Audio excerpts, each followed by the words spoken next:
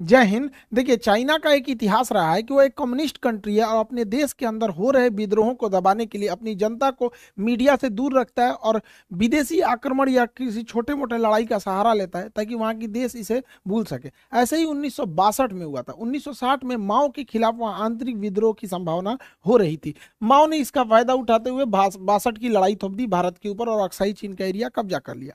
उसी समय इसने ताइवान के इसे, क्या नाम है, अरुणाचल प्रदेश को अपना दक्षिणी तिब्बत कहता था। ऐसा नेहरू के समय हुआ था। अभी यहाँ पर सी जिनपिंग सी जिनपिंग जो है, इसके समय भी बहुत तेज़ी से विरोध हो रहा है।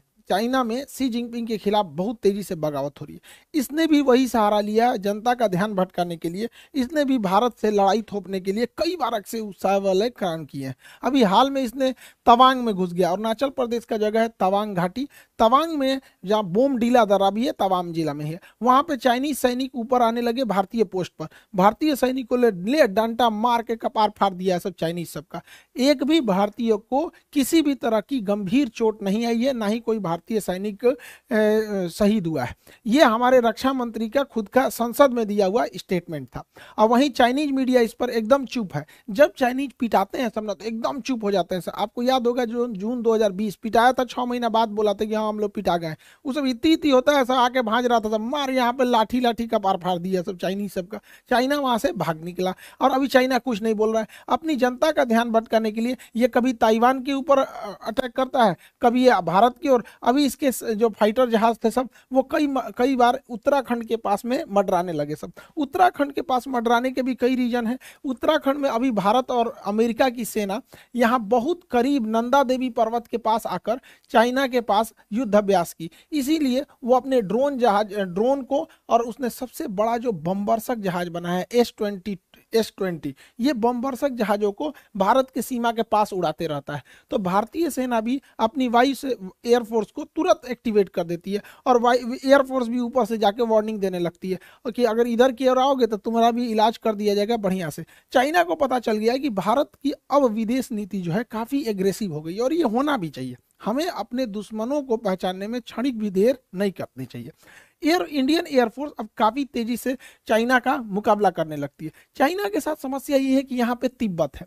तिब्बत का पठार इतना ऊँचा है कि यहाँ पे कितना भी बेहतरीन जहाज़ दे दीजिए, कितना भी बेहतरीन जहाज़, वो अपने फुल कैपेसिटी से नहीं उड़ सकता है, क्योंकि तिब्बत के ऊपर ऑक्सीजन की मात्रा बहुत कम होती है और किसी भी जहाज़ हो गया, उसमें ईंधन जलने के लिए ऑक्सीजन की ज़रूरत ज़्यादा होती है। तो यहाँ कितना भी बढ़िया जहाज़ रहेगा, यहाँ से यहाँ आने में अपनी पूरी पावर नहीं लगा सकता है। जबकि भारत का जहाज़ तो इधर ही रखा हुआ है यहाँ पर। इसके लिए ज़्यादा उधर नहीं है, इसी को ज़्यादा दिक्कत आता है।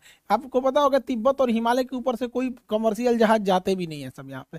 तो इंडियन एयरफोर्स काफ़ी एग्रेसिव में इसमें आगे बढ़ रही है। लेकिन चाइना इसे अन्य जगहों से घेरना चाह रहा है। पाकिस्तान के सहारे घेरना चाह रहा है, इधर मलक्का के सहारे, इधर तंजानिया के सहारे। तंजानिया के साथ इधर से, मलक्का को इधर से और ऐसे चारों ओर से चाइना भारत को घेरना चाह रहा है। हालाँकि भारत भी इससे अब काउंटर अटैक के मूड में आ गया भारत अपने वायुसेना की ताकत को लगातार बढ़ा रहा है।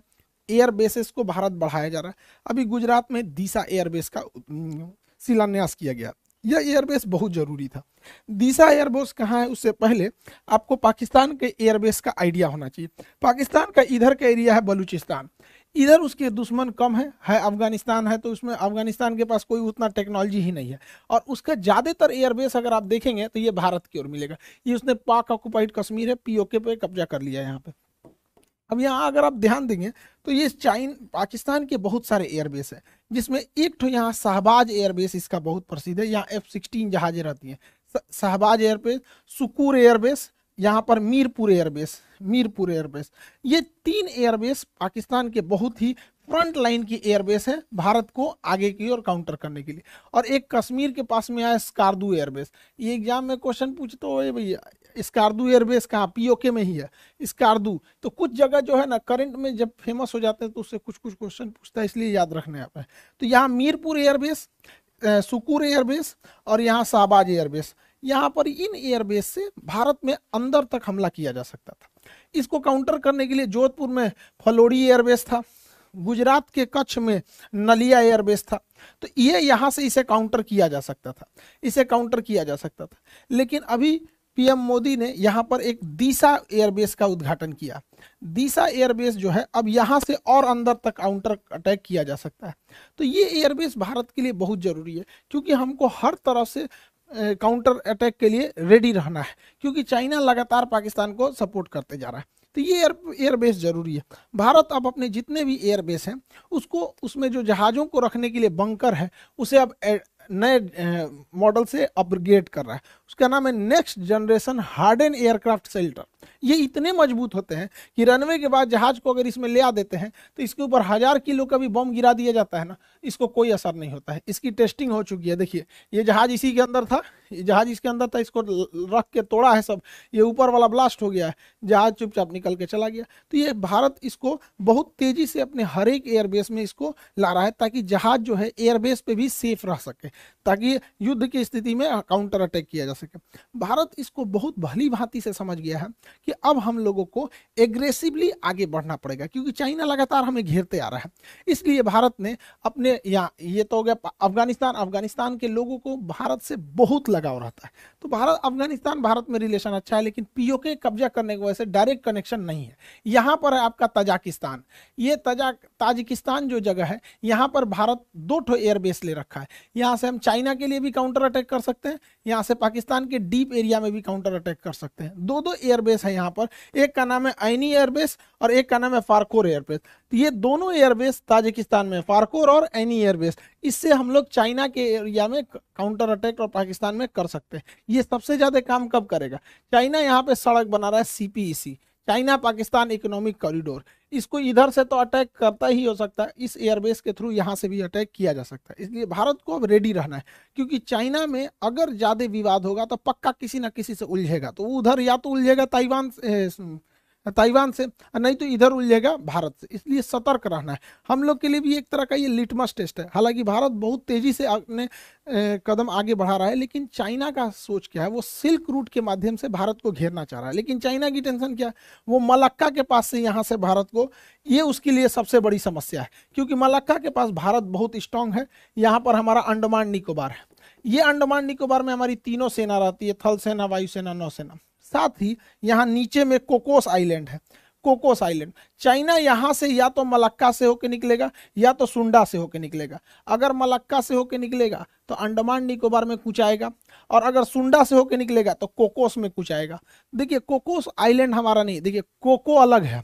कोको आइलैंड म्यांमार के पास है। हम ही लोग का था, नेहरू ने गिफ्ट दे दिया यहाँ पे। ये कोकोस आइलैंड जो है, ये ऑस्ट्रेलिया का है। लेकिन ऑस्ट्रेलिया से हम लोगों ने समझौता कर रखा है कि एक दूसरे के बेस का इस्तेमाल करने के लिए। तो इसका इस्तेमाल हम लोग कर सकते हैं, यहाँ से काउंटर करने के लिए। इसलिए चाइना को पता है कि इस एरिया में हम कुछ नहीं कर सकते इसलिए चाइना मलक्का को अपनी डेलीमा दुविधा समझता है, मलक्का डेलीमा। इसलिए वो डायरेक्ट इस एरिया से समुंदर से घूम के नहीं आना चाहता है। वो डायरेक्ट सड़क के माध्यम से अपने सामान को यहाँ लाता है और इस रास्ते से निकल जाता है। यहाँ पे उसने बहुत बड़ी सड़क बना रखी है। इस सड़क के चारों ओर फैक्ट्री, पेट्रोल पंप हॉस्पिटल्स अलग अलग चीज़ों को खोल रखा है। इसका नाम है सीपीईसी सीपीईसी को काउंटर करना भी बहुत ज़रूरी है, जो ग्वादर पोर्ट से जुड़ता है। यहाँ पर सीपीईसी के लिए, यहाँ पर हमको एनी एयरबेस और फारखोर एयरबेस यहाँ से काउंटर कर देंगे और यहाँ ईरान का चाबहार बंदरगाह, हम इसे काउंटर करके आइसोलेट कर सकते हैं। इसलिए रेडी रहने के लिए ज़रूरी है। हालाँकि भारत के पास इसके अलावा भी बहुत सारी संभावना है। यहाँ पर चाइना इतना तेज़ी से एक्सपांड किया कि अफ्रीका का देश है जीबूती। जीबूती में इसने अपना एक सैन्य अड्डा ले लिया। अब जीबूती समुद्र का इतना पतला रास्ता है कि अगर यहाँ स्वेज नहर से कोई भी जहाज़ यूरोप से आएगी तो उसे जीबूती से जाना ही पड़ेगा। और जीबूती पे उसने एक भाड़े पे सैन्य अड्डा ले लिया यहाँ पे। लेकिन अच्छी बात यह है कि जहाँ इसने सैन्य अड्डा लिया है, वहाँ से थोड़ी ही दूरी पर फ्रांस का भी सैन्य अड्डा है। और हमारा और फ्रांस का समझौता है कि हम एक दूसरे के सैन्य अड्डे का इस्तेमाल कर सकते हैं। तो यहाँ ये पैसा दे के ऐसा अड्डा ले रहा है। भारत वहाँ ऐसे ही पहुँच सकता है। इसके अलावा ज़रूरी है भारत सरकार को कि यहाँ पे यमन में अभी अशांति फैली हुई है। यमन का यह सोकोत्रा आइलैंड भारत के लिए एक वरदान साबित होगा। क्योंकि अगर हमारा सोकोत्रा आइलैंड पर अब अगर प्रेजेंस बन गया तो यहाँ से हम ग्वादर बंदरगाह को काउंटर कर सकते हैं, यहाँ से हम जीबूती को काउंटर कर सकते हैं, और यहाँ से हमारी सप्लाई लाइन को भी कोई नहीं रोक सकता है। लेकिन अभी यमन के सोकोत्रा आइलैंड पर किसी का ध्यान नहीं गया है। यहाँ पे करना चाहिए, सरकार को आगे बढ़ना चाहिए। चाइना ने इतना ज़्यादा मात्रा में लोन दे रखा है अफ्रीकी देशों को कि उन्हें अपने कर्ज के जाल में फंसा लिया और इस जाल में फंसाया बढ़िया से तंजानिया को। तंजानिया जो है, इसका एक जंजीबार द्वीप है जो दुनिया में सबसे ज़्यादा लौंग के उत्पादन के लिए प्रसिद्ध है। तंजानिया के सभी समुद्री तटों को चाइना मांग रहा है कि हमको दे दो लीज पे, ये सारे समुद्र तट पे हम अपने बंदरगाह बनाएँगे। और आपको पता है कि चाइना अगर बंदरगाह बना दिया तो वहाँ अपनी पनडुब्बी नौसेना की जहाजों को लाएगा। हम लोगों की लाख कोशिशों के बावजूद चाइना का जहाज़ यहाँ पर अपना लंगर डाल ही दिया। इसलिए इसे काउंटर करने के लिए भी भारत के पास कई सारे द्वीप हैं। सेसेल्स का द्वीप एजम्सन आइलैंड जिसमें भारत अपना मतलब बेस बनाने वाला है। सेसेल्स में यहाँ पर मॉरिसस में एग्लीगा द्वीप है। ये दोनों द्वीप यहाँ से काउंटर अटैक के लिए यहाँ पर अवेलेबल हो सकते हैं। तो कहने का सेंस ये है कि भारत को पहले से अब रेडी रहना चाहिए, क्योंकि चाइना में जहाँ उथल पुथल होगा तो सी जिनपिंग अपने देश की जनता का ध्यान अपने ओर से हटाने के लिए वो को या तो ताइवान की ओर हमला करेगा, या तो फिर भारत की ओर। हालाँकि भारत की ओर करेगा नहीं, अब उसको पता है कि बासठ नहीं रह गया, यहाँ पे आदमी दौड़ा के मारेगा उसको। हालाँकि युद्ध में अब अगर देखेंगे तो वर्तमान परिदृश्य में कई सारी चीज़ें चेंज हो गए हैं। यूक्रेन युद्ध में ड्रोन ने पूरी तरह से कंप्लीट सेनेरियो को ही चेंज कर दिया। तुर्की जैसा देश ड्रोन के मामले में, ईरान जैसे देश ड्रोन के मामले में बहुत तेज़ी से आगे बढ़े हैं। तुर्की का कौन सा ड्रोन यूक्रेन में तबाही मचाया और रूस जैसे शक्तिशाली देश को ईरान से क्यों ड्रोन मंगाने पड़े, इसे भी हम लोग समझेंगे। उससे